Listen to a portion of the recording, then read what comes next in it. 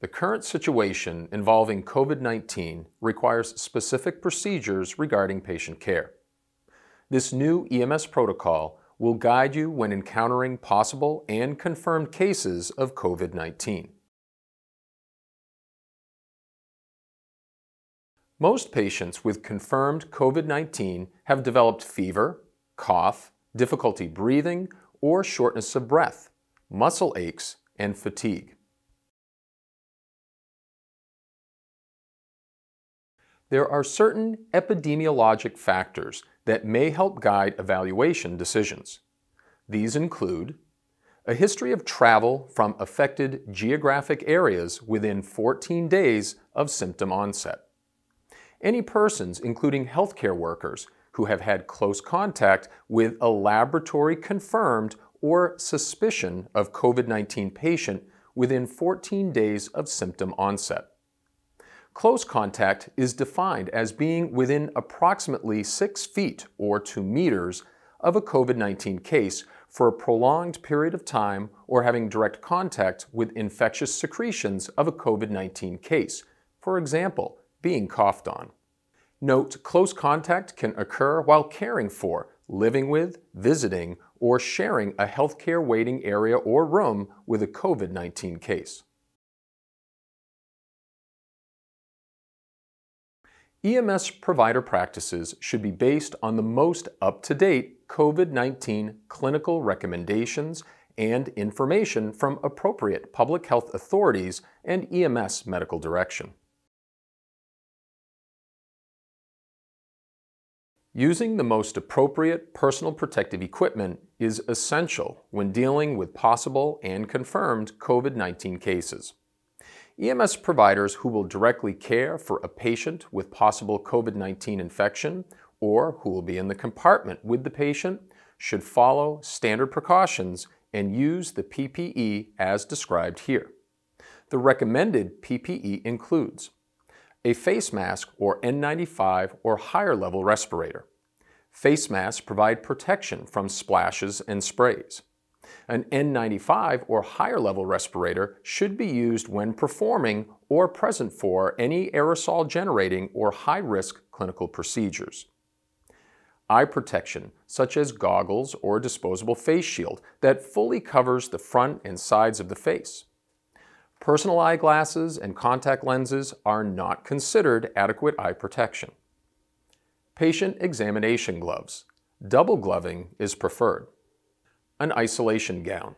If there are shortages of gowns, they should be prioritized for aerosol generating procedures, care activities where splashes and sprays are anticipated, and high contact patient care activities that provide opportunities for transfer of pathogens to the hands and clothing of EMS clinicians.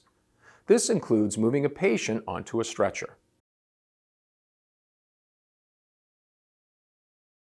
These recommendations for PPE also cover the provider driving the ambulance. Drivers who will provide direct patient care, such as moving patients onto stretchers, should wear all recommended PPE. After completing patient care and before entering an isolated driver's compartment, the driver should remove and dispose of PPE and perform hand hygiene to avoid soiling the compartment. If the transport vehicle does not have an isolated driver's compartment, the driver should remove their face shield or goggles, gown, and gloves and perform hand hygiene. A respirator or face mask should continue to be used during transport. All personnel should avoid touching their face while working. On arrival, after the patient is released to the facility, EMS clinicians should remove and discard PPE and perform hand hygiene. Used PPE should be discarded as normal. EMS providers should exercise appropriate precautions when responding to any patient with signs and symptoms of a respiratory infection. EMS providers should consider the specific signs, symptoms, and risk factors of COVID-19. If Public Safety Answering Point or PSAP call takers advise that the patient is suspected of having COVID-19, EMS providers should put on appropriate PPE before entering the scene. Initial assessment should begin from a distance of at least 6 feet from the patient if possible. Patient contact should be minimized to the extent possible until a face mask is on the patient.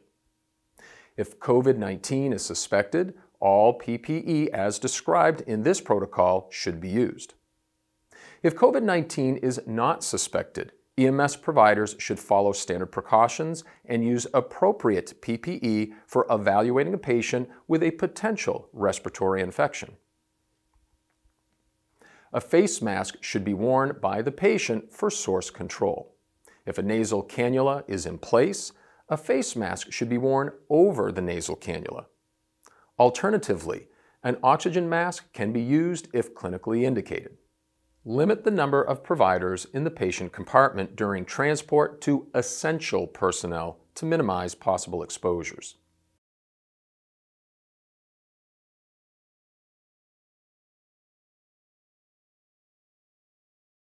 If you have a patient who has an exposure history, who shows signs and symptoms suggesting COVID-19, and who has been directed to a healthcare facility by EMS medical direction for further evaluation and management, the following actions should occur during transport. Consider contacting medical control for destination determination and or alternative transport operations based on the clinical impression of the patient. EMS providers should notify the receiving healthcare facility that the patient has an exposure history and signs and symptoms suggestive of COVID-19 so that appropriate infection control precautions may be taken prior to patient arrival.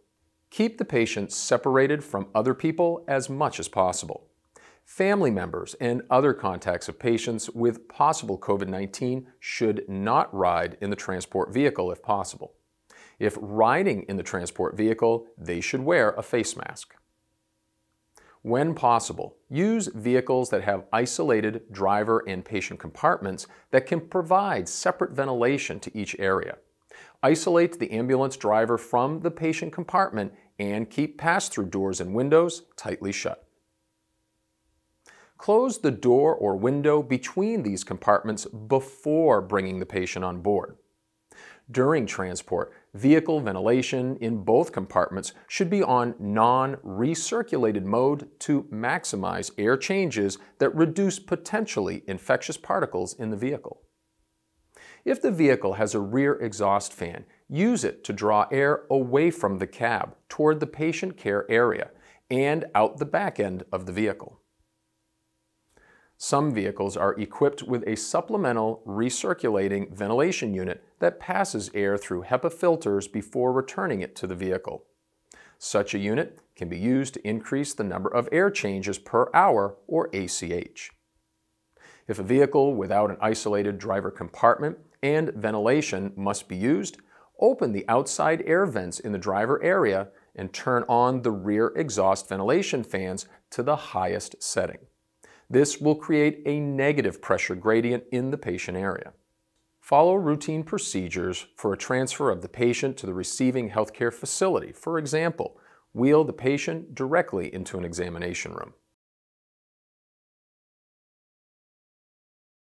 If possible, consult with medical control for specific guidance before performing aerosol generating procedures an N95 or higher level respirator instead of a face mask should be worn in addition to other PPE as described in this program for EMS clinicians present for or performing generating procedures. EMS providers should exercise caution if an aerosol generating procedure is necessary.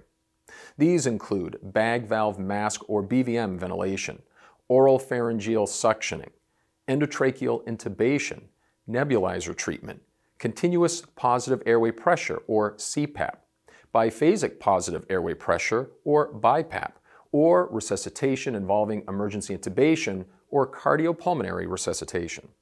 BVMs and other ventilatory equipment should be equipped with a HEPA or other viral filter to filter the expired air. EMS organizations should consult their ventilator equipment manufacturer to confirm appropriate filtration capability and the effect of filtration on positive pressure ventilation. If possible, the rear doors of the transport vehicle should be opened and the HVAC system should be activated during the performance of an aerosol generating procedure. This should be done away from pedestrian traffic. Allow enough time for the completion of the procedure and its therapeutic effect. As soon as the procedure is complete, secure the ambulance doors and transport the patient to the receiving facility.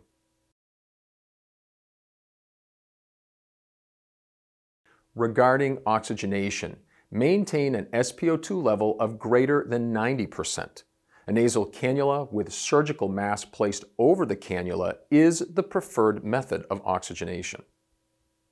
Providers may use higher than normal flow rates, up to 7 liters per minute if needed to maintain the desired oxygen saturation. If the patient is persistently hypoxic despite use of a nasal cannula, apply a non-rebreather mask or NRB.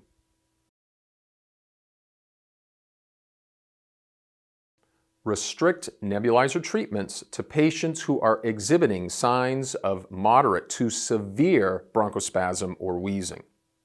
Nebulizer therapy is associated with a significantly increased risk of coronavirus aerosol transmission and EMS provider exposure.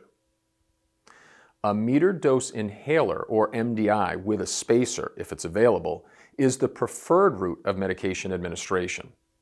Consider four to six puffs per dose of an MDI with a spacer if available. This may be repeated every five minutes as needed.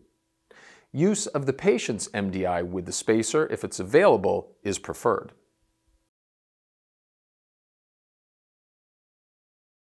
CPAP and BiPAP should be used with caution in suspected COVID-19 patients. CPAP and BiPAP is associated with a significantly increased risk of coronavirus aerosol transmission and EMS provider exposure. CPAP and BiPAP should still be considered in the patient who has other, more obvious reasons for their respiratory failure. For example, in the setting of recent weight gain, edema, and a history of cardiac disease. If EMS providers feel that it is essential, consider contacting medical control.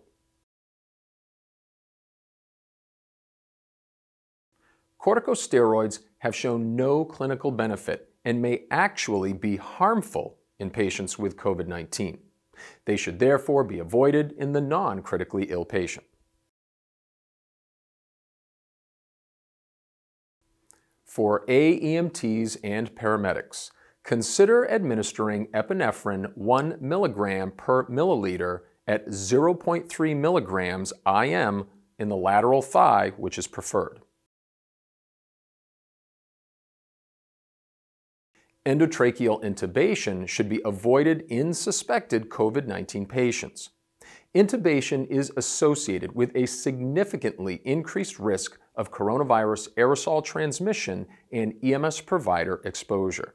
This is an incredibly high-risk procedure in terms of transmission and is best performed in a negative pressure room with the highest provider level and most experienced provider.